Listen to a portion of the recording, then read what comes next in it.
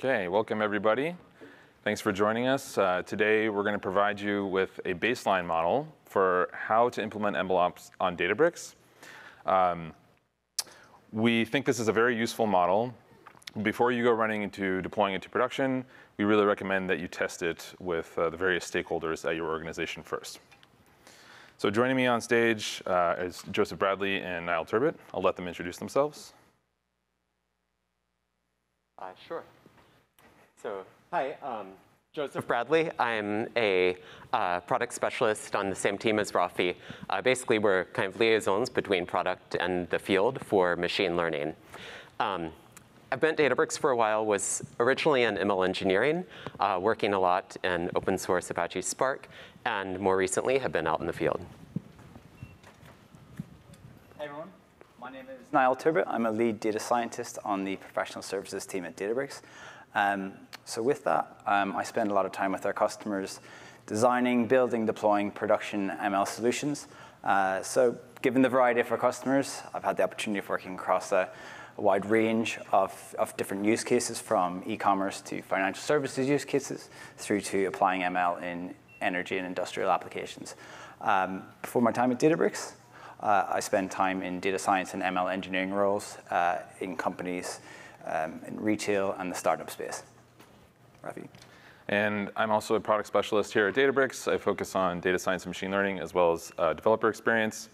Um, I've had a lot of fun in the past couple years helping customers scale their R workloads with Spark. And prior to Databricks, I was a data analyst, and then I was trading commodities. Okay, so today, our talk is divided into two parts. The first part is going to be very conceptual, sort of the underpinnings of what is MLOps, why you should care about it, um, who are the people involved, and what is the overall process. And then we'll also provide some general principles that are applicable regardless of what your tech stack is. Then we'll go through and we'll disambiguate what uh, dev staging and prod means when you talk about MLOps. Then I'm going to hand it over to Joseph, who's going to go through a pretty detailed reference architecture for how you would implement this on Databricks. That's part one. And then in part two, we're actually going to go through a demo real, real deep and uh, bring to life everything that we talked about in part one, the reference architecture and all the concepts. Okay, so to get started, let's begin with defining what uh, MLOps actually is. Okay, so MLOps is a set of processes and automation manage to jointly manage code, data, and models for the sake of improving the performance, stability, and long-term efficiency of machine learning systems. Put simply, it's uh, DevOps plus DataOps plus ModelOps. In, in other words, the goal of MLOps is really to make your ML systems successful, ensure that they're successful and stable for a long time. So obviously everyone is here because they're interested in the topic, but I think it's good to take a little step back and really define like why we should care about this, why this is really important. It comes down to a couple different reasons. The first is, is that MLOps will help you reduce risk in your ML system. And there's really two kinds of risk. There's technical risk, and you could think of this as risk that's basically intrinsic to the system itself. So is your model performing poorly? How do you know? How are you going to update it? Is your infrastructure fragile or flaky? How are you going to repair it? Those are technical risks for your uh, project. The second kind of risk is actually risk with other systems, external systems. So is your ML system in compliance with corporate requirements or other um, regulatory requirements? So MLOps can help you there as well. The other big benefit is that will, it, uh, MLOps will improve the efficiency of your team in launching and releasing models. So it, it does this through automation. For example, we can automatically test error, we can automatically test code and catch any errors before they reach production. And we can also avoid slow manual processes involved in the handoffs between different uh, people as they work in, uh, in, the, in the overall ML practice. So let's talk a little bit more about the people that are involved and the overall process involved with MLOps. So everything starts with the business stakeholder. There's going to be some question, some business question, some business initiative that is going to catalyze all the other data practitioners going and, and uh, springing into action and doing their work. And this person is going to be responsible for the value of the ML solution at the end of the day. Then when it comes to the practitioners, you have data engineers. They build data pipelines. Data scientists consume those pipelines, and they work closely with the business stakeholder to understand what the business problem is, translate it into code, train and tune models. Those models are then handed off to ML engineers who are responsible for deploying it to production and managing it over time. And then sort of surrounding all of this is a role that we, we increasingly see is the idea of a data governance officer. And this is the one who's responsible for the activity of all of these other personas and making sure that they're in compliance with um, data governance and, and uh, other regulatory concerns. So if we take these and we kind of overlay these different personas across the process of developing and deploying a model, this is sort of a rough idea of what this looks like. Now, in reality, it's way fuzzier than this. Lots of people do different tasks. They wear many hats, things like that. But this is, I think, a good rough approximation of these different tasks and, and the, uh, the ownership that people have across them. So um, hopefully at this point it's become a little bit clear that MLOps is actually pretty hard because you need to think about data management, you need to think about model management, code management, and then you have all these different people that have different roles that need to be able to collaborate across this process in order to make it successful. So it's very, very hard to do this. How are we going to unify this? How are we going to simplify um, this complex process and kind of like bring everybody together under one roof. So about a year ago, we started talking about this idea of a data-centric ML platform. And the benefit of a data-centric ML platform is that it would help in unifying those uh, different personas and the necessary processes and disciplines involved in MLOps. So no surprise here, we're going to bring everybody under the uh, roof of the Databricks Lakehouse. And for data ops, the foundation on Databricks is obviously Delta Lake. Delta Lake will help you manage all of the data associated with your ML system, whether that's your features, your predictions, your monitoring data, your logs, all of that can be managed at scale with Delta Lake. For model ops, we have MLflow to help us manage the um, model lifecycle, all the way from experimentation through to deployment and managing multiple versions of models that are running in production. And then for DevOps, we integrate really closely with the most popular Git providers and the CI/CD systems that they offer as well. So all of this together comes to simplify the way that these personas that we talked about before can work together and make your application successful. Okay, so before we go on, I want to take a moment to talk about uh, four general principles that are applicable uh, regardless of what technology you use. You can help these can help you implement MLOps in your organization. So the first one is going to be always keep your business goals in mind. And by that we mean before you uh, consider taking on any technical work to implement MLOps, you should ask yourself, what is the business impact of this?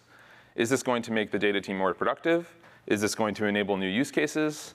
Is this going to reduce risk? If the answer to those is yes, then go ahead and do that work. But if not, then maybe you shouldn't invest in that um, technology. The second point is take a data-centric approach to machine learning. And by this, we mean that uh, ML pipelines are data pipelines. And they, are, they need to be as robust as any other data engineering process. Data quality is also uh, absolutely critical in machine learning pipelines. So you should take a systematic approach to how you monitor and ensure data quality in those um, systems. Another point here is that you want to make sure that you avoid choosing tools that make it hard to join your ML data with the rest of your data.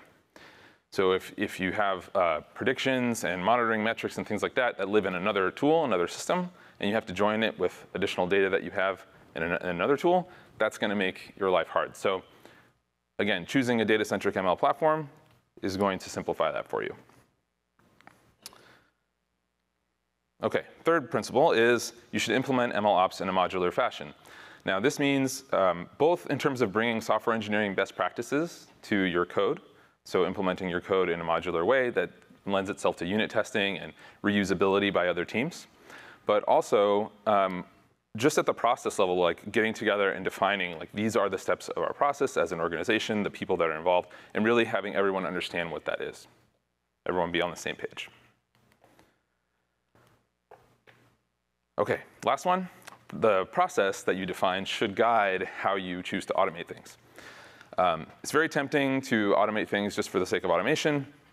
But in particular, um, with machine learning, I think it's important that we automate the steps of our process as needed. Um, so there may be times where you want to include a human in the loop, and so you should avoid automation. There may be times where uh, you want to facilitate a more rapid handoff between one persona and another, and that's a good place to introduce some automation. Okay, so now we covered what MLOps is, why you should care about it, and some of the fundamental ideas there. Let's talk about the meaning of dev, staging, and prod in the context of MLOps. And then we'll also talk about two different uh, model deployment patterns. So in your ML workflows, there's these three different assets. There's the code, the data, and the models.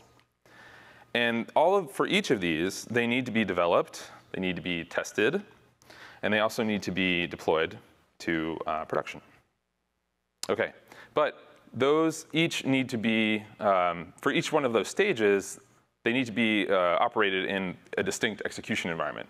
So really what you have is, you have three different environments that you need to set up in order to facilitate um, the development of these different assets.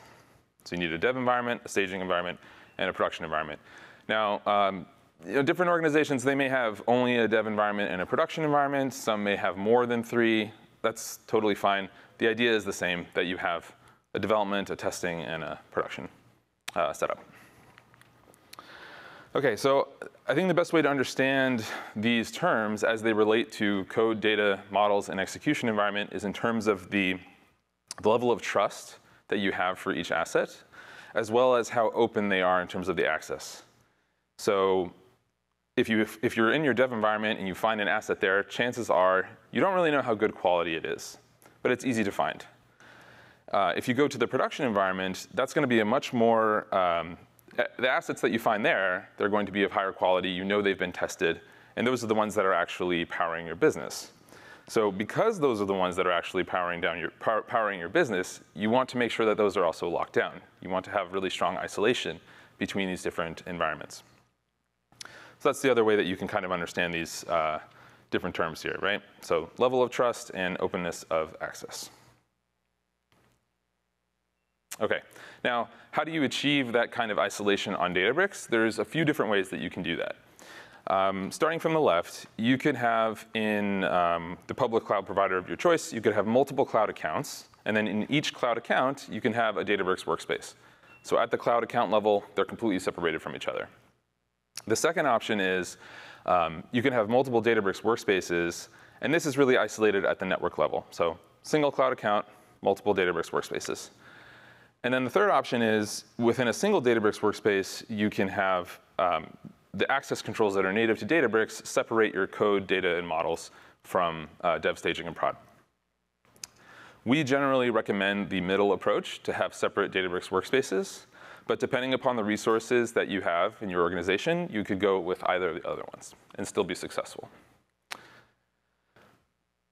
So one of the things I want to call out here, if you look at the, the one on the right, you might be tempted to think that there's like a one-to-one correspondence between data, models, and code across dev, staging, and prod. Uh, and that's not exactly correct. And I'd like to explain why. So there's this interesting fact that um, model and code lifecycles, they actually operate uh, asynchronously from each other. So to help understand this, let's take two examples.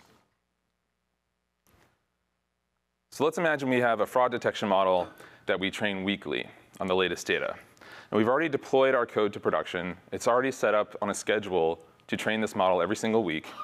So our code is not really going to change very much, but the model every week is going to go through a new process of being generated, then tested, and then if it's better than the one that's currently in production, that will be deployed into production.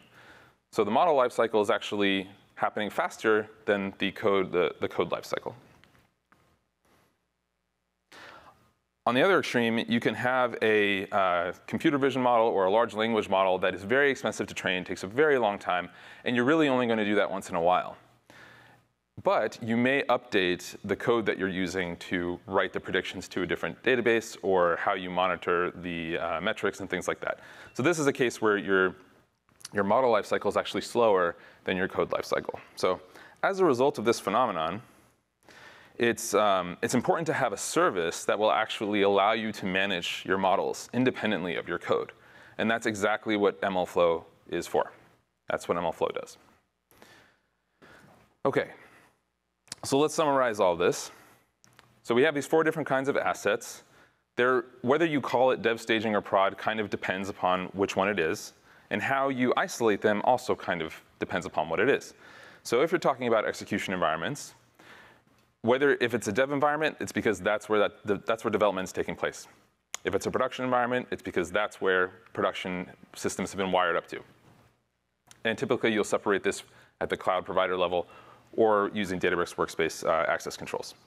Um, for models, that's going to really be dependent upon which uh, lifecycle phase the model is in. Is it a dev model? Has it been tested? It's in staging, or is it deployed to production? MLflow has access controls for this, and you, or you could lock this down at the uh, cloud storage level uh, using the permissions that are native to that. Data actually does kind of have a one-to-one -one correspondence with the execution environment. So if you've produced data sets in the dev environment, then they're probably going to be dev data, and so on. Code, uh, typically going to be labeled according to the software development lifecycle. So you'll have dev branches, you'll have a main branch, and then you'll have releases, and so on. And you'd lock this down using Git. Okay. So now that we have an understanding of the semantics and this fact that models and code operate asynchronously, um, there's two different ways that you can actually deploy models into production. So the first is, when we call this deploy models, you really kind of focus on the uh, model artifact that gets generated by your training code. So in the dev environment, you will train your model, it's gonna output this artifact, and then you'll move that to your staging environment, test it, and then move it to your production environment assuming it passes your tests. The other approach is actually you, you think about more the process that builds the model artifact, and that's the, uh, that's the unit that you take and then move from environment to environment. So here you take your training code and you deploy it to the staging environment, and then you deploy it to the um, production environment. So obviously one big practical difference here is that you're going to be training the model uh, three times in the deploy code. way. So in this talk, we're going to focus on the deploy, uh, deploy code uh, pattern. The reference architecture is very much built entirely around this, and the demo is as well. OK, so let's take a little closer look at this process. So in the dev environment, what are you going to be doing? You are going to develop your training code there. You'll develop all the ancillary code, and by ancillary code, we mean your feature engineering, your inference code, your monitoring code, anything else that has to do to support the the model, right? Um, assuming you like what you've developed, then you'll promote that to the staging environment. What happens in the staging environment is going to be testing of the model on a subset of data, basically a form of integration testing. And then you'll also test your ancillary code with unit and integration tests, and assuming everything works out, you'll promote that to the production environment. Okay, and then in the production environment, you'll train the model again on the entire data set, on the production data that you have and then you'll test the model against the current one that you have if, it's, if you have an existing version. Finally, you'll deploy the model, and then you will deploy any other ancillary code this way too. So it's kind of like bringing the software engineering practice of you know, dev, staging, and prod, and testing everything and deploying all your code. Same, same idea, we're just applying it to machine learning. Okay, so what are the benefits of this approach? Right? Why would we choose this one over the deploy models one? So in terms of automation, uh, this actually makes it easier to support automated retraining because in the production environment, it's a very locked down environment. It's very hard for anybody to go in there and tamper with the training code. So you know that if you kick off a new training job, that it's going to be very reliable in terms of its uh, outcome. In terms of data access, this is actually a little bit simpler because you don't need to provide production data access to these other environments necessarily if you don't want to. You can simply provide it in the production environment, and that's where you do your final analysis of whether you deploy this new model or not. Similarly, for reproducibility, the production environment is, there's going to be fewer people maintaining that, and that, and that engineering team is going to be able to better control the environment that models are trained in. So this helps, again, prevent issues with human error and tampering and things like that. Um, because this is following a deploy code pattern in, in traditional software engineering practices, it actually will allow you to accelerate and launch many more models with a smaller team than if you had to do a more manual process and managing individual artifacts separately from code. Now, two potential uh, downsides that people might call out is that, you know, for data scientists that may not be as familiar with these practices, they might have to learn how to write code that they can hand off in this way. And the eng team might have to set up the infrastructure to do CI/CD testing and things like that. Now, some people might look at that and they would say that's a good thing, um, but it depends upon your perspective. Okay, so with all that being said, that's the intro. Those are all the sort of fundamental concepts. And I'm going to ask Joseph to come up, and he's going to go through a reference architecture for how you would, um, what this all would look like on Databricks. Cool. Thanks, Rafi. So what Rafi was doing was laying down the fundamentals. And this next section basically wanted to talk through um, a full holistic architecture and then deep dive into the dev staging and prod parts of that architecture, um, getting a bit more detailed.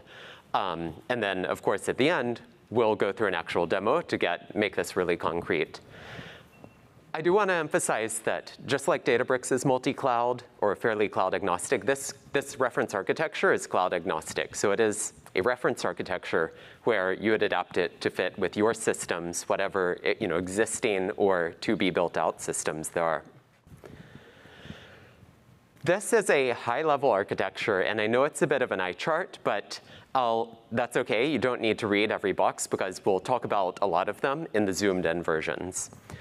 I do want to point out at the very top, there's a gray box for source control. And as Rafi was saying with this deploy code architecture, Source control is our primary mode of getting ML pipelines from development to production. You can see we have a dev branch, a merge request going to a staging branch, which, by the way, we're calling main because we often see the main branch used as the de facto staging branch, but you know, you can swap out the labels if you have other Git practices. And then once you cut a release branch, that release branch corresponds to you know, that production version of that code.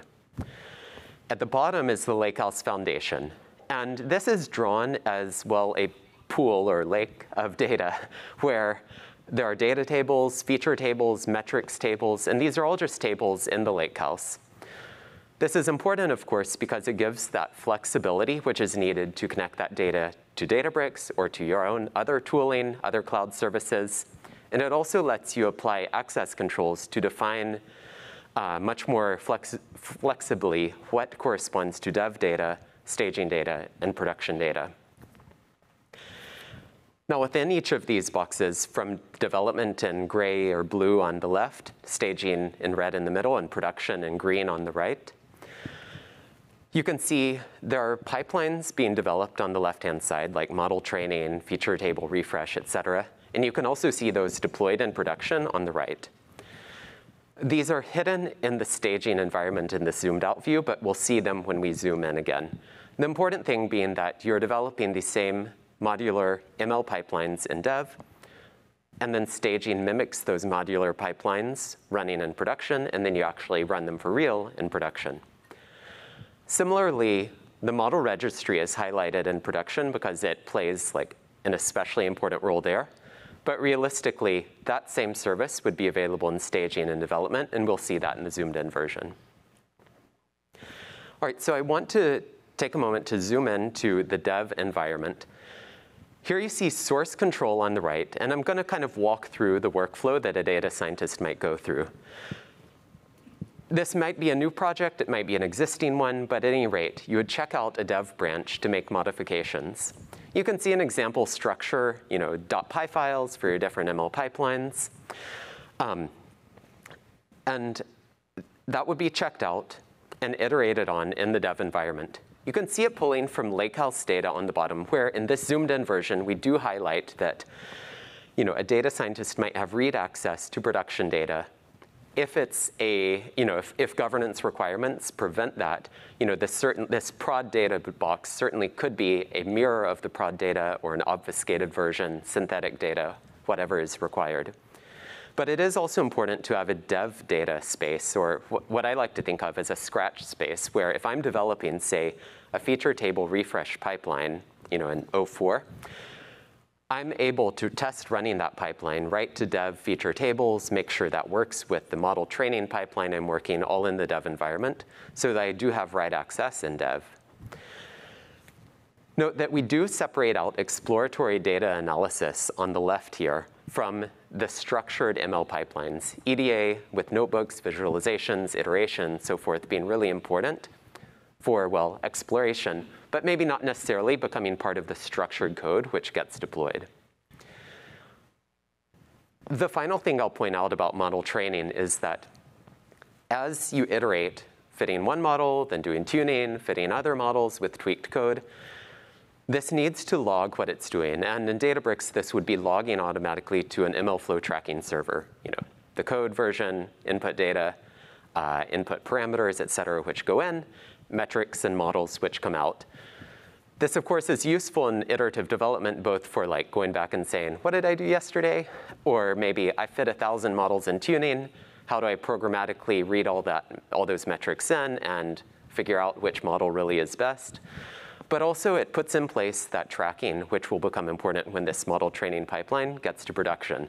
You'll want that same tracking to uh, track you know, for the sake of reproducibility and governance, exactly how those prod models are created. So once that's done and the data scientist is happy with this, they'll commit the code back to source control. That brings us to the staging environment where once there, that code is checked into the dev branch in source control, one can make a merge or pull request to the staging branch. That's going to come down here, kick off CI tests. Those usually start with unit tests, which are, of course, lightweight, fail-fast tests, which don't really touch data or services. It's then recommended to run integration tests. And it's here you see that those same ML pipelines, which were available in production, can be run in a mirrored version in the staging environment.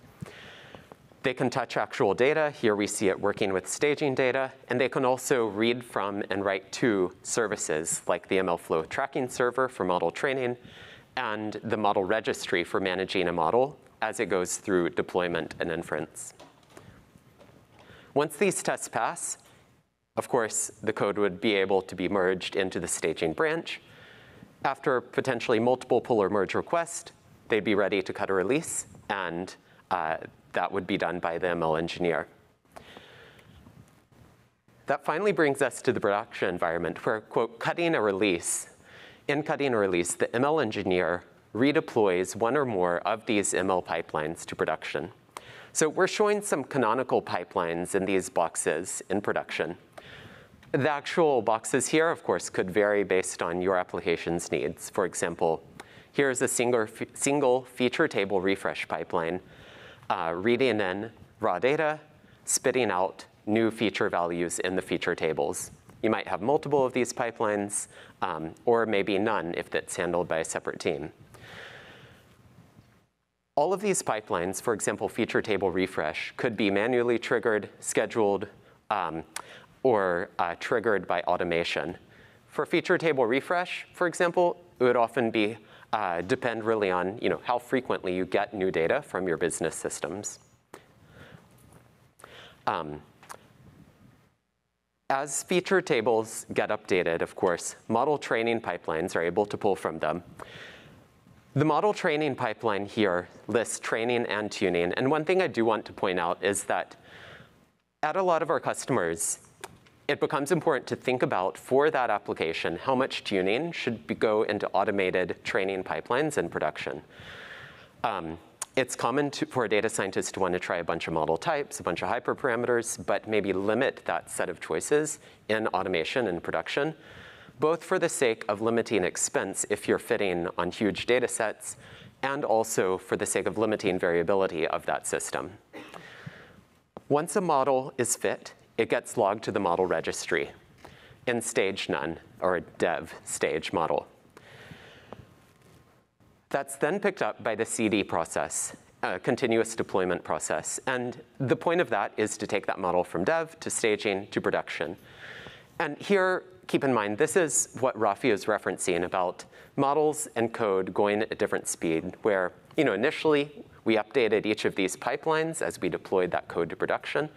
But the model registry service remained constant. Same model was in production. Now we're going to run the model training and deployment pipeline. The code is staying static. The model is being updated. And so this loose connection allows these to move at different rates. In general, with continuous deployment, initial move from dev to staging includes compliance checks, smaller tests, and so forth. The move from staging to production is more a champion challenger situation where you want to make sure that you know, on data where you have actual labels, that model is doing better than the current production model before it replaces it. But if so, then the CD pipeline would replace it. That model can then be picked up by downstream systems. Online serving could load that model, you know, send out its responses and log requests and predictions. Similarly, for inference, doing batch or streaming inference, pick up the model, publish new predictions. We're showing both of these pipelines here. In reality, you know, for your given application, depending on latency requirements and throughput requirements, you would probably just pick one of these. Importantly, these requests and predictions for any serving or inference pipeline should get logged back to the lakehouse as tables that makes it really simple for them to be picked up by monitoring, which again publishes metrics back as lakehouse tables. Having these in the lakehouse makes it really simple for those to be picked up by various systems, you know, dashboards for monitoring, alerts for notifications, and also maybe read-only access in the dev environment so that the data scientist can explore issues in production. All right, so that kind of wraps it up with the reference architecture. Um, and now I think we'd like to get a lot more concrete by uh, turning it back over to Niall to talk through the demo. Thanks, Joseph. Perfect. So Joseph has just walked us through a really nice set of diagrams illustrating that end-to-end workflow, but hopefully you're now sat there thinking, great, but how do we practically implement that? So what we're going to focus on in this second part of the talk is, firstly, how do we think about doing that end-to-end in a practical manner and setting up that MLOps workflow? So we'll first address a fictional use case that we want to solve. So I, as a data scientist, am working with Joseph, an ML engineer, on our fictional uh, data team. And we've been approached by uh, our business, a, a, business unit within our company to solve a given issue, and we'll, we'll unpack that. We'll also deconstruct our solution um, through a couple of different lenses. So the first being the actual pipelines that we're looking to deploy, and this will really link it back to those diagrams that Joseph just walked us through. We'll also unpack the tooling that we'll use. So what are the technologies that we're going to use to manage our code, our data, and our model artifacts. Then before we actually get into the demo itself, we'll also have a look at the project structure. So this is primarily just to prime you with the kind of core components of the, the actual solution that we'll be walking through. And then we'll get into the demo where, as I mentioned, myself and Joseph will put on our data scientists, our ML engineering hats, and we'll see kind of where the handoffs happen in that end-to-end -end workflow. Lastly, Rafi's going to finish up with where you can find all the resources, so such as the repo that we're going to go through right now, as well as all the kind of uh, diagrams, an actual ebook that kind of really encapsulates all this together. So, myself and Joseph, as I mentioned, we're working for a fictional telco company. And we have been approached by the marketing department within our company to ask us, is there any way that we can predict customer churn for this, we're going to use a customer churn dataset, which is an openly available dataset from IBM. And with that, what we have are customer records for just over 7,000 customers. And with that, we have customer IDs, along with nearly 20 uh, attributes that indicate kind of demographic information and contract-based information, along with an actual label column that indicates whether a customer has churned from either one of our phone or internet services within the last month. So we have worked with the business unit to really define what is it that we're trying to solve. So what is the actual business value that we're seeking to address here? And really crystallizing what is the business metric that we're seeking to optimize. So we've worked with the business team to define that metric. We want to minimize the monthly revenue that is lost to customers who are churned. And we go through a whole POC process. So we're building out a proof of concept. We find that against some baseline, we have a classifier model which is performing significantly better than just a heuristics-based system. And what we want to do is build out an end-to-end MLOps workflow that allows us to deploy and continuously update our model in production. Before we come to the actual repository and the actual solution itself, like I said, we want to deconstruct things through a couple of different lenses. So firstly, how are we going to look about managing that code, data, and models in that one centralized um, platform? And again, as, as Rafi had mentioned, we're doing so under the banner of our Databricks Lakehouse platform. So just to make this a little bit more concrete, I'm going to overlay those three pillars of DevOps, uh, DataOps, and ModelOps on top of that multi-workspace or multi-environment view that, that Joseph just walked through. So on the, the DevOps pillar, we're going to be using Git to manage our code. So it's going to be our source control. And in particular, for this example, we'll be using GitHub, um, which will manage our actual repository itself. And with that, if we do want to incorporate any notebooks into that repository, we can also use Databricks repos to basically sync with that GitHub repository and push any notebooks to it. We'll also be using GitHub Actions, and this is going to manage our whole CI/CD workflow. So it's really going to help us automate the building of our package itself, the deployment, and the testing that Joseph also spoke about. Lastly, under that DevOps banner, we're also going to be using an open source um, tool by Databricks Labs called DBX. And really what DBX is, is a, a lightweight wrapper over the top of um, Databricks uh, command line interface. And it provides us a few different benefits. So the first being that it allows us to easily define um, Databricks jobs that we can then subsequently deploy. And with that, it offers us a really nice way of working from an IDE. So everything that we'll be showing you here is, is IDE-based development. So we're kind of assuming that we've gone through a phase of iterating in a notebook, but we really want to package this up as a more robust production-ready system. And DBX allows us to easily develop within an IDE, create the definition of a pipeline, or a job, I should say, or wrapping one of our pipelines as a job, and running that interactively against a interactive cluster if need be, and then further, also allowing us to do so in an automated way.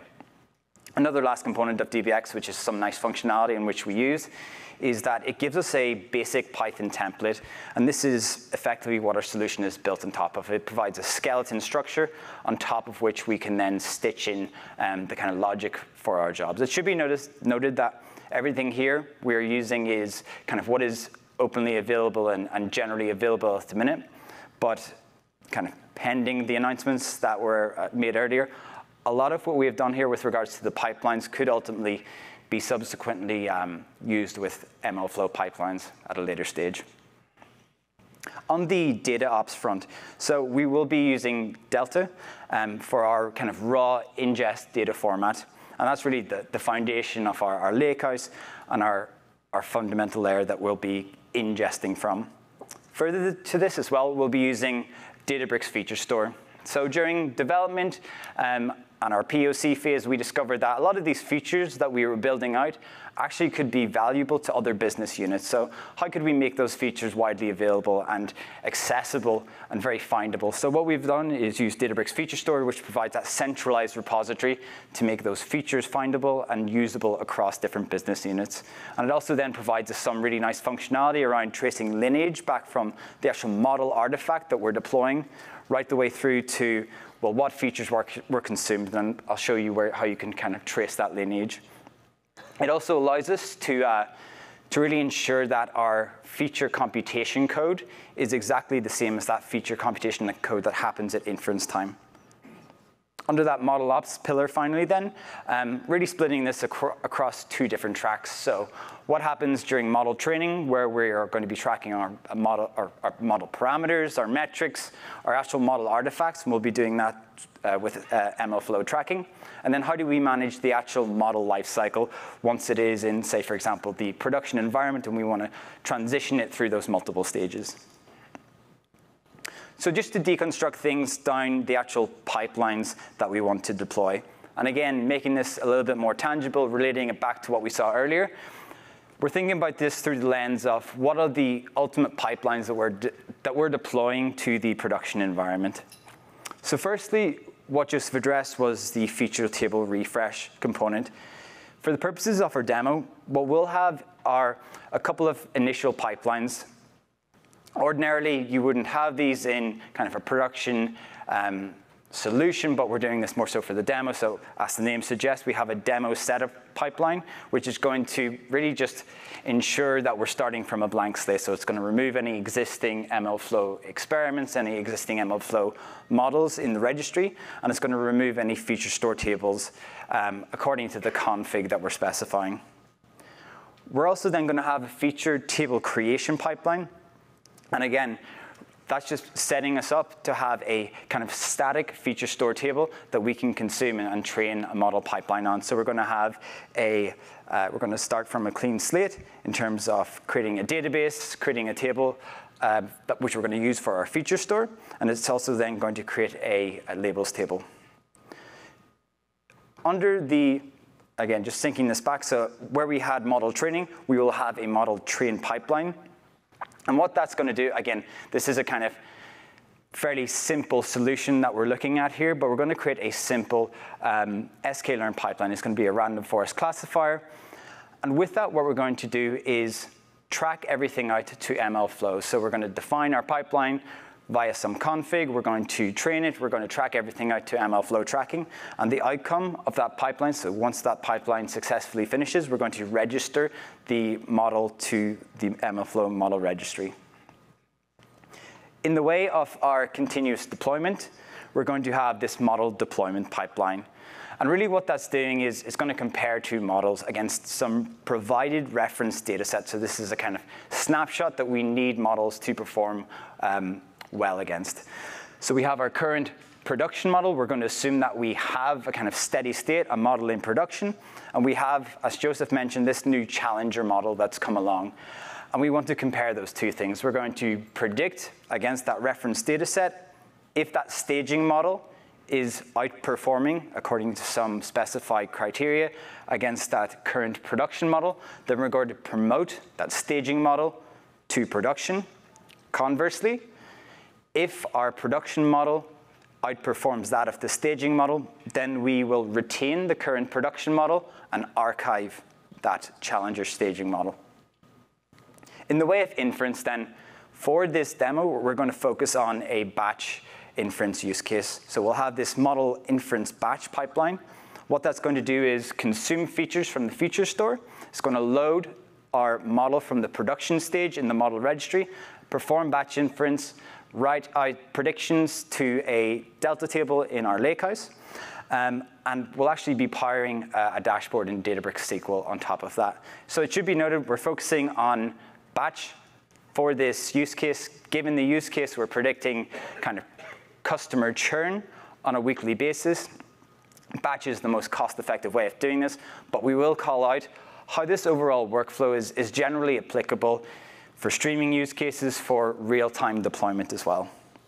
Lastly as well, so we do have monitoring in that, that original architecture diagram. We don't have monitoring in the repository itself for the demo today.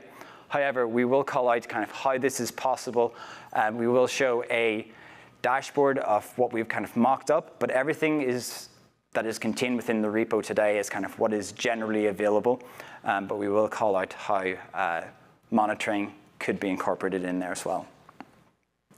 Before the demo, lastly then, what does our project structure look like? And this is primarily just to prime you, like I said, those core components of this.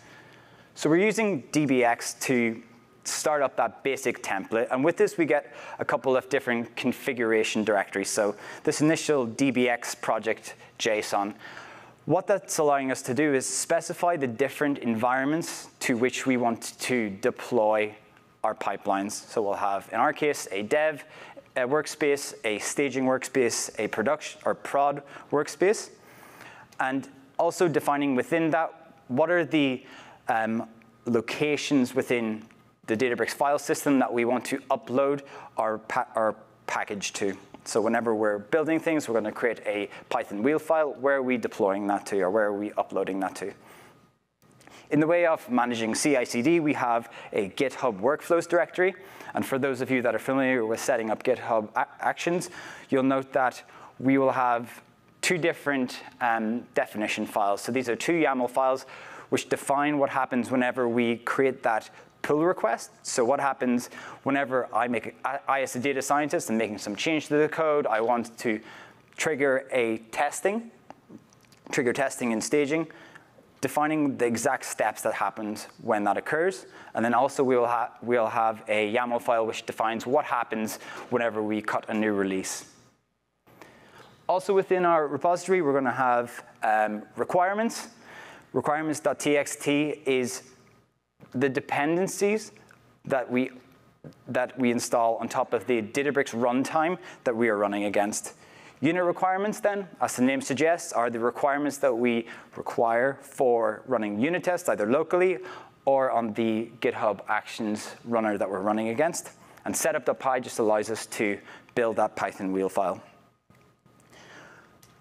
Conf is essentially this catch-all configuration directory. And we'll see how we have a number of different environment, environment uh, variable files. We'll see how we have this job configs uh, directory. And under that, we have our kind of pipeline um, configs. And for each of those different pipelines that we're, we'll, we're deploying, we essentially have a unique configuration file. So say, for example, our model train pipeline, we want to define, well, what are the exact hyperparameters that we want to use for that? What is the name of the MLflow run that we want to do for that? Also within that, we then have this deployment.yaml file, and that's used by DBX as this kind of core uh, source of truth as to what are the job configs to deploy whenever we are deploying those um, jobs to our workflows in our workspaces, and along with that, the, the cluster configurations that we might want to use. We'll also have telco churn. So in this example, telco churn is going to contain our Python source code. So this is really the kind of core logic that I, as a data scientist, am, am writing for those pipelines. We'll double click into that in one second as well. And then lastly, we have a test directory under which we have our unit tests, which as Joseph mentioned are those faster running um, tests which test the smaller kind of core components of our um, core functionality of our, our, our, package. And then integration tests, which are those longer running tests that, that run um, in a longer manner, but test more comprehensively the functionality of our package. So who owns what within this, within this project? as Rafi mentioned, oftentimes many people wear many hats, but we kind of broadly divide this project in terms of who owns what into ML engineer, data scientist, in the sense that the ML engineer really owns everything to do with the config, everything's to do with really automating the building deployment um, and, and testing of the package itself. The data scientist then, get, you'll see some crossover here.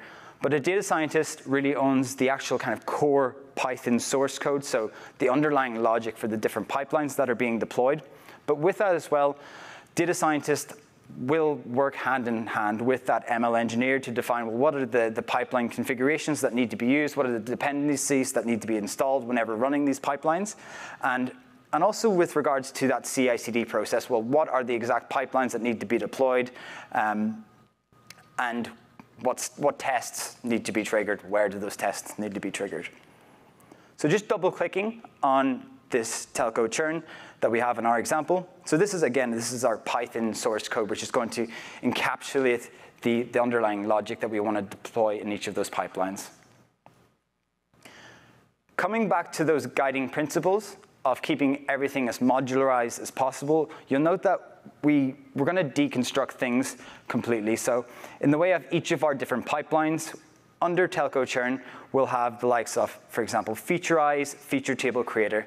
And this is really delineating the kind of logic that's used to perform data processing in this instance against and contrasting against Feature Table Creator, which is essentially just takes a data frame and writes that out as a um, feature store table in Databricks. Likewise, we have this for all of the different pipelines. So model train pipeline and model train are two different modules.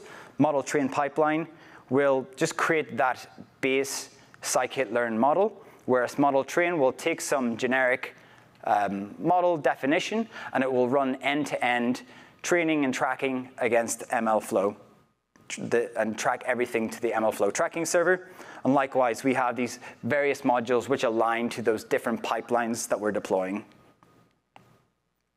Lastly, we have this jobs package. And under that jobs package, we effectively have, for each of those different pipelines, take that pipeline core logic, wrap it as a Databricks job, unpack the config that we're using, and trigger it as a Databricks job. So coming to the actual workflow itself, what are the kind of high level, what is the high level workflow that we're going to be looking at? We're going to be starting in a steady state. So this is assuming that we've gone through the POC phase, we're happy with everything, we've deployed a model to production. That model in production is a, a model registered in the production stage in our production environment. We also have our feature store tables, we have the existing pipelines that we need deployed to production. So this is going to be our uh, model train pipeline. It's going to be our model deployment pipeline, our model inference pipeline, our batch model inference pipeline. We're also going to have then a monitoring dashboard, which is monitoring the health of our, uh, of our model in production. I, as a data scientist, notice that the model is degrading in performance in some way. I might be pr prompted by a monitoring uh, dashboard, as we'll see. And what I want to do is update the model. So what I'm going to do is, in my dev environment, I start to iterate, try new hyperparameter configurations. I find that if I change some hyperparameters, that um, I actually improve model performance against a holdout set. And I want to update that training config so that our tr model train uh, pipeline, it takes this model train config. I want to update that. I'm going to, from my dev environment, update that config. I'm going to push that as a code change. Upon pushing that code change, I'm going to create a pull request in Git. And upon, upon doing so, we're going to automatically kick off our continuous integration pipeline. And that's going to, as Joseph talked through earlier, it's going to kick off our unit tests, our integration tests. And if those things run successfully, then those changes that I've made to that config will be merged into the main branch, which is our, our staging branch in this case. At this point, this is where we come across to our ML engineer, Joseph in this instance, who's then going to see that those tests have successfully passed. He's going to cut a new version, so a new release branch. And upon creating that new release, trigger the continuous deployment pipeline. So again, everything is being automated here. As soon as that new release is tagged, what we're going to have is that continuous deployment pipeline kicked off. And that's going to deploy those three different pipelines as Databricks jobs to the production workspace. And again, it's going to be our model train pipeline, deployment, and inference pipeline. Lastly, we'll also see how we can then either manually trigger those pipelines or we can also automate those workflows as well. So finally, let's get into the actual demo itself. Great, so I'm going to come to a couple of different dashboards for, first. And really, this is actually starting at the end and, and working our way back.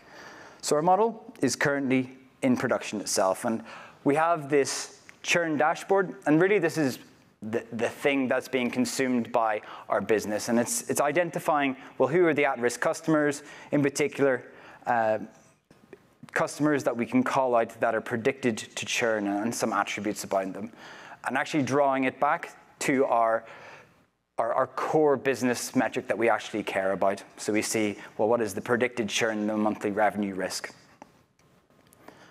Also underlying this is a monitoring dashboard, which uh, I, as a data scientist, Joseph, as an ML engineer, are informed by. We'll see as well once Joseph comes on how we can actually build this out towards the end. But just a high level view at this stage, we can see how I can monitor my, my input uh, features in terms of input statistics, and I can check out model quality through time as it's making um, those predictions. Just to see that model in its steady state in production, I'm going to come to our workspace. And, and just to, to kind of draw the thread back to what Rafi was talking about in the ways that we can effectively achieve dev, staging, prod with respect to Databricks. We're doing so in a single workspace for the purposes of this demo, um, albeit we have divided what I have access to in the, in the, in the way of a data scientist to the, the dev aspect of this through uh, access controls. So for example, we have this project uh, we, within the workspace in which we have dev, prod, and staging folders. I, as a data scientist, would only have access to dev. We'll see how prod then has the, the kind of production MLflow experiments within it. Before we do come back to that though, let's, let's check out that steady state. So I'm going to go to models, and I'm going to search for my model in production. So if I navigate into this end-to-end MLOps telco churn prod, so this is our production model. And we see that under that, I have this version one, which, which Joseph has put into production quite recently. We have version one of this. So if I click into that, I see how we can start to track the lineage back to initially the, the source run. So I see this this comes from this random forest baseline model. And we can see then the activities against this. So just navigating to the, the underlying source run, just to start to trace that lineage. We see under the, the tracking run, and again, this is all automatically tracked out within that pipeline once we execute it. We have our model parameters. So notably, we have this random forest classifier, max depth 4, which we've supplied. And we've stripped out all of those various uh, hyperparameters that we've used within the pipeline itself. We also then have our metrics, so that's our test metrics, our training metrics, which have been recorded whenever that pipeline has run. Various tags, such as what was the data source that we used for that. And we'll also then note how we have this variety of, of different YAML files tracked out, again, during uh, model training. So that configuration file is the configuration file to execute the pipeline. So we'll note how we've provided these model parameters that have been unpacked during the run, the, the actual run name, various pipeline parameters. And then we have this FS model, and that's the, the actual model artifact that we have tracked using the feature store API. So this, this gives us a couple of different elements. So underlying it is the actual MLflow model itself. But we also then have our feature store metadata. And this is where we can start to trace the lineage back from the model in the registry, back to the model in the tracking server, back to then the actual feature tables that were used. And so we're unpacking this from a, a visual standpoint, but from a, an automation standpoint, at inference time, what that feature store API can then allow us to do is effectively pick up those features from the feature table, load those in automatically, load the actual model artifact itself, and perform inference in a really, in essentially one line. So just to have a look at the actual features that were used for this model in particular. So we see that we have a number of different input columns. We have the contracts uh, feature, a dependence feature, device protection feature. In this case, we have taken these all from a single feature store table, this end-to-end MLOps prod churn features. And I can start to actually trace this back to the underlying features, feature store table. So just navigating to the feature store UI, I can search for that feature store table. And again, we're going to have a lot of information here about who created the feature store table, Permissions-wise, who would have uh, access to this feature store table? The producer, so what was the underlying job that produced this? And then the actual features within that feature table. Lastly, within this workspace then, so we're, thinking we're approaching this from the perspective of what are the various pipelines that we have deployed. We're deploying these as workflows.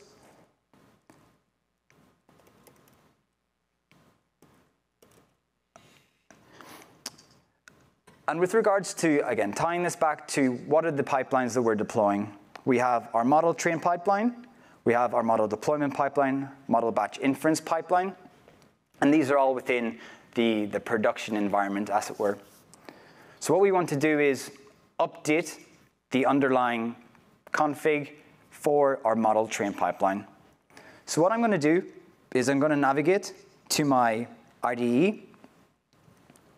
I'm going to create a branch, a new dev branch against which I'm going to start to make some changes. So I have been in my dev workspace.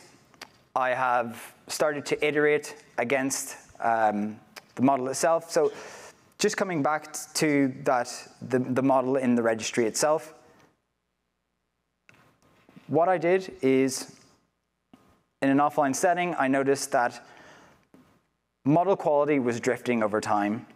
So it was kind of bouncing around a little bit and deviating, deviating a little bit from what I'd previously noticed. So I'm going to go again into my model and just trace this back to the underlying run. And what I've noticed is max depth equals 4 seems a little bit low. I start to iterate on things, and I, I actually find that if I change max depth equal to 8, in an offline setting, it's actually starting to prove things slightly better. So what I'm going to do is I want to make a code change. I want to run everything through testing, make sure that all tests pass, and at which stage I will be handing things over to Joseph, who will then deploy that updated pipeline. So let's first create a new branch.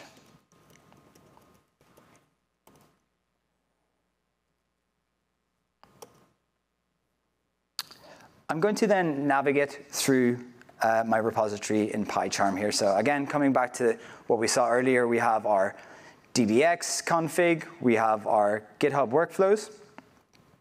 Under conf then, we then have the configurations for the various pipelines. So this will look familiar actually to the, that config that was, that was logged at training time. So if I go to job configs, down to model train, I'll see that I can set my max depth equals to 4 here. So those are the, the hyperparameters that are really unpacked by the, the, the pipeline job once it's executed. So I'm going to update this to 8. I'm going to change as well this name. So max depth update. I'm going to push this change then.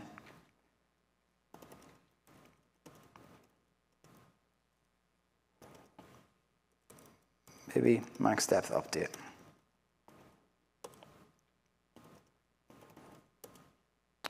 Set that upstream.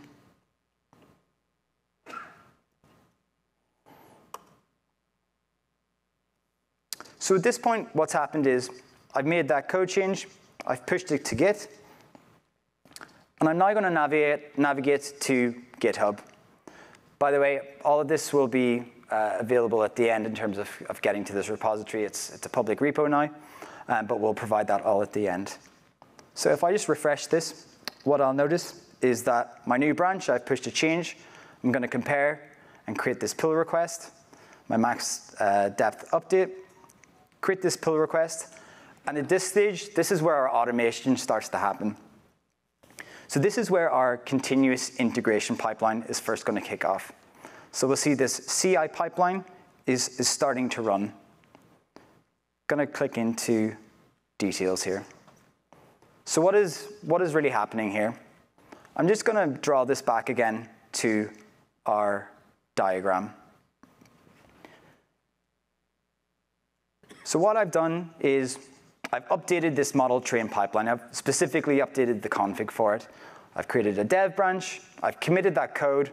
I've now created this pull request to merge into staging itself. this has kicked off, so that, that actual pull request has kicked off that continuous integration trigger. And now what's happening is initial unit tests are being kicked off on the GitHub workflow runner.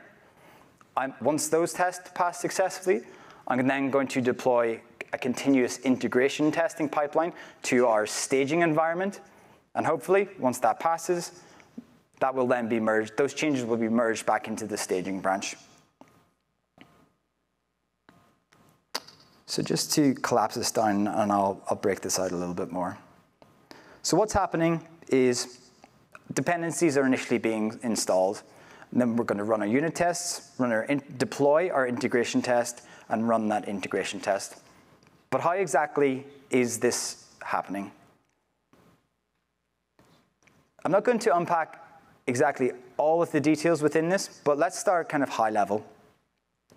As I mentioned earlier, the deployment.yaml config under this conf directory contains the definitions of our various job pipelines, of our various um, uh, of our various jobs that we want to actually deploy, and also the cluster specifications that we want to use. I'm just going to take an example job here. So under staging, we see that we have this sample integration test. We have our staging cluster configuration that we're going to use. We have this Python file entry point that we're going to use. And then it's going to take environment configs and a config file as well. So this sample test, for the purposes of a demo, is really just a, a, a count that is being deployed as a job to the staging workspace. How this is done then is then going to be defined under our GitHub Actions workflow. So what I've just done is created a pull request. If I go to pull request on pull request.yaml, what this is describing is on pull request to the main branch, what are the steps that then need to happen? So the steps are going to be setting up that Python environment on the GitHub runner, installing those dependencies, running our unit tests using PyTest, and then deploying the integration test pipeline using DBX and running that integration test pipeline. So this job, telco churn sample integration test, links back to what is being deployed here. We're doing so to the staging environment and then launching that at the same time. So at this point, I'm going to pass over to Joseph, who will pick up where the data scientist leaves off. And his role then is the ML engineer to deploy, hopefully, once these tests pass, the successful pipelines to the production. Cool. Thanks, Niall. All right. So yeah, as Niall said, this is kind of that handoff point where I, as an ML engineer, you know, I, I may not know or care much about the details of the data science going on in these tests, but I do know that they need to pass. I need to provision infrastructure, make sure they pass before I merge the pull request. Uh, the final thing that I want to like I guess, reemphasize about what Niall was showing about the different configs in the code, if we flip back to it, is essentially that by having configs broken out into different environments like he was showing, we're able to make sure that we can provision a varying set of uh, you know, cluster sizes or whatever are required for each environment. If he's working with a you know, many terabyte data set, he may not want to iterate on that in dev. I may not want him to for costs.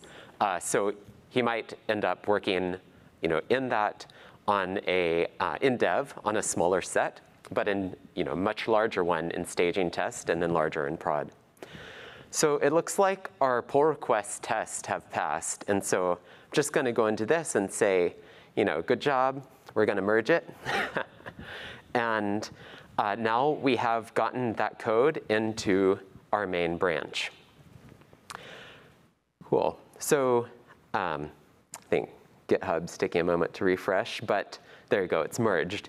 It's in the main branch, and I'm ready to cut a release. So we're going to manage our releases just via tags. And so uh, first, I want to uh, check out the main branch. Um, and then I will pull those updates, which were just merged. And you know, we already have a v0.1 release, and if we go to our Git project, then we can see that over here. Uh, this is going to be a, let's call it v0.2, and I'll just, uh, you know, in practice, you give it a more descriptive name, but uh, I'm going to say great job, Niall, for the, for the tag on that release. And then I will uh, push that to the origin. And now what? I want this to automatically redeploy those ML pipelines in production. And that is, in fact, what's going on. Um, if we flip back to our actions, you can see that a GitHub action is doing that for us. Now had uh, previously referenced two GitHub workflows. This is that second one for on release, which is going to take these updated pieces of code and replace some of these pipelines which are running in production, uh, like the model training job, for example. So here we are. I've cut the release, redeploying the code, but the model registry is staying constant uh, and is still um, uh, keeping that, that production model has stayed consistent as the pipelines themselves are being replaced with refreshed workflows. Uh, so I'm going to flip back to, let's see, pardon the flipping around, uh, to workflows where I'll want to uh, find the ones corresponding let's see, good, telco churn model.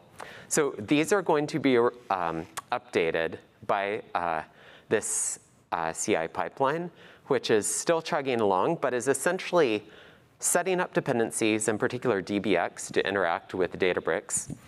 Uh, here, that interaction is permitted because we have uh, set up our GitHub repo uh, with secrets which allow its automation to interact uh, with the Databricks CLI. And then it's going to redeploy several of these jobs. Once the, uh, these jobs have been redeployed, basically I'm going to show some things manually, but you know, in practice, I think some of these might be scheduled, some might stay manual, uh, some might be triggered. The first is going to be model deployment, then training, and then inference. And that's going to kind of you know, eventually bring us full circle so while this is running, I can just show quickly, like, you know, roughly what this is doing, where dbx deploy um, is specifying that the deployment.yaml uh, deployment file includes a lot of the information about how this telco churn model train job is defined, but it's tweaked by the environment uh, being set for production. Now that has been deployed, I'm just going to go ahead and kick off training. What this will do is uh, run for a bit to train a new model. Um, and then once that has been trained, I'm going to see that appear as a new model version in the model registry. Cool. I'm going to note, like, we do want to make sure to have time for questions, and we're running like pretty close to the end of our time slot. So uh, I will um, like make sure that we do allocate some time for questions, even if I need to truncate like the last tiny bit of the demo. Um, but so this is our version of the model currently in production. This model training job um, is green here, so you can see it is running if I click into it, like, what do I want out of this? I, as an ML engineer, want to be able to maybe schedule it weekly, because I know the business gives us new data about which customers actually churned or did not every week. Here, I'm just showing how to set it up on a schedule manually. Could certainly be part of that job configuration if we wanted to ensure it. So this is now scheduled, will run weekly. Here, I have done uh, one manual trigger. As this runs, of course, I and or the data scientist would want visibility into what is running. Could certainly click into the Spark UI, into logs, metrics, et cetera.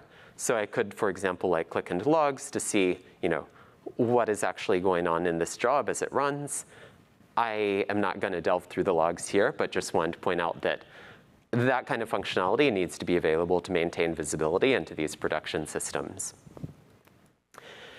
In terms of what is running here, um, if I go to the telco churn area in this repository, you know, that, as Niall said, pipeline is defining the actual like sklearn pipeline structure, model train is running it.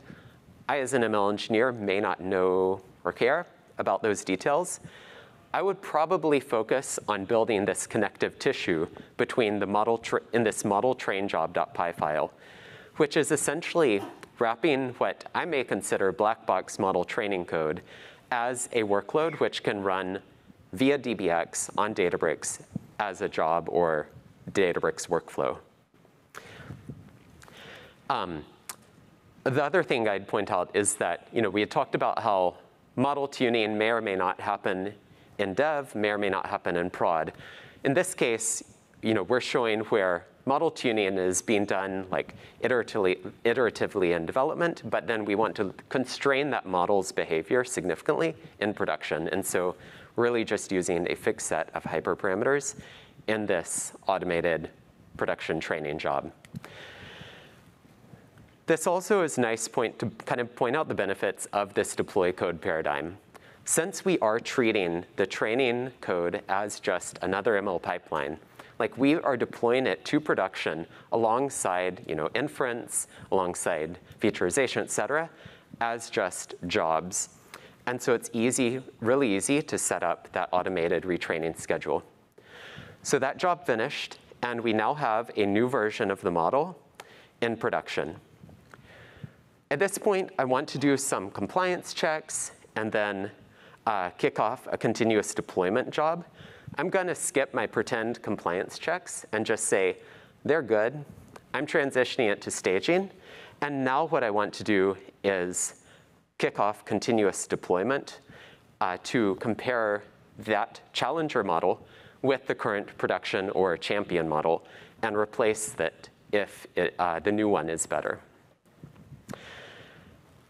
That champion model um, you know, has been uh, scheduled to run in production with this inference batch job. Note that if this model deployment job is indeed successful, it's going to swap out, um, like if I run that inference job now, it would run against the current champion model. As soon as the continuous deployment job finishes, it will have swapped those out under the hood, assuming my new model is better, but it won't affect that downstream inference job. Cool. So for the sake of time, I'm going to say that uh, this completes, and when it does complete, what we're going to see is basically logs showing that the champion model has area under the curve blank, the challenger has area under the curve blank, and comparing these two, we see that the new model is indeed better, and we'll see these automatically switched where this new version will be put into production. I would then run the inference pipeline, which you know, isn't that interesting in and of itself, but is great because it kind of brings us full circle. It is going to update a table in the lakehouse, which will refresh our business facing dashboard. And it will also allow us to you know, start thinking about, well, what comes next? Well, monitoring to make sure that we can continue uh, to um, watch and make sure to either improve this model or make sure it keeps behaving nicely. Niall did promise that I'd mention how this works under the hood, where it is using existing tools right now. Um, what is missing, uh, or what is in early uh, stages, is the ability to automatically set these tools up for you. And so to, just to give you a, a taste of like what these tools are, I'm going to switch over to Delta Live Tables and show you a Delta Live Tables pipeline, which is actually powering that monitoring dashboard. So Delta Live Tables is fully available. If you're not aware of what it is, I highly recommend you check it out because it's an excellent example of how many ML pipelines are just data pipelines. It is designed for general data pipelines and is essentially using Delta Lake under the hood, of course, but a bit more aware of the data processing which is going on, allowing it to have more efficient allocation of resources, have better sort of repair of halfway run and then failed pipelines and so forth. Definitely check it out, but I won't dive into it here. But essentially what this is doing is picking up the logged predictions and uh, queries and the true labels once we have them, computing aggregations, uh, computing some analysis metrics, and computing some drift metrics, and then it powers that dashboard. Cool, so that pretty much brings us full circle in terms of this architecture. And just want to wrap it up quickly by handing it off to Rafi to uh, talk about like how you can actually take this code, try it yourself, and um, get started. Thank you, Joseph and Niall. So thanks everyone for joining us here today. All the content that we went over is available in these different spots. So everything that we talked about is written up in the big book of MLOps. You can download it for free. Just go to this URL. And the repository with the demo and instructions is available as well. As Niall mentioned, this is public. There were a few other talks earlier today that are really, really relevant to this subject. So there's one from this morning on the feature store and MLflow pipelines, which is a major release that is going to simplify what we went through today and make it even easier. And then uh, later today at 5.30, I'm going to be talking about uh, the Databricks Notebook with a product manager from Databricks. And uh, some of that will cover how to bring in software engineering best practices to the notebook. So thank you all so much for joining us. And I think we have a few minutes for some questions.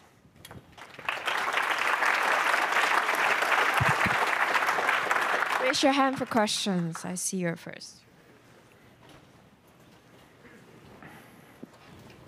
Um, hi. So I, I wanted to ask about the separation of workspaces and particularly with the model artifact itself. So I've got a similar setup, um, but to try to avoid the data scientists replicating and reproducing, having to retrain multiple times, uh, what we've done is sort of use one central repository for MLflow and then reference that from the other ones. Uh, what sort of pros, cons do you see for doing that versus doing multiple accounts, multiple workspaces, retraining? Yeah, uh, yeah, I, I can start off with this one. Um, really, the, the reason for that model registry in the production workspace was you get the lineage right the way through in that single workspace. So that lineage won't transfer across multiple workspaces, and having that within the production workspace means that that workspace has access, number one, to production data. We trace lineage back through that. There are some other caveats with regards to kind of like real-time serving. You need that model registry model to be in the same workspace as to where that's running as well. So there, those would be the kind of typical caveats that there are, is that lineage through everything, through the feature store, through the actual model registry, back to the MLflow tracking server, which you would lose if you're going kind of mul across multiple workspaces. Um, yeah, I don't know. Anything else you would add? I, I guess I would add that, um, I mean, what you're describing sounds like what we call like the deploy models paradigm, where like they're developed in dev, and then those models created in dev are tested in maybe staging and then promoted to production. Like that, you know, as I think Rafi is talking about, that is a valid use case. And like, you know, if that model needs to be iterated on on a huge data set in dev, like there may be no point in redoing that in production that may be a valid use case. Um, we've found that like, you know, it's basically going back to the pros and cons, which Rafi is talking about in deploy code versus deploy models, but we do see the whole range. And I think most of the architecture would not change, um, except that model training would be treated separately. Yeah.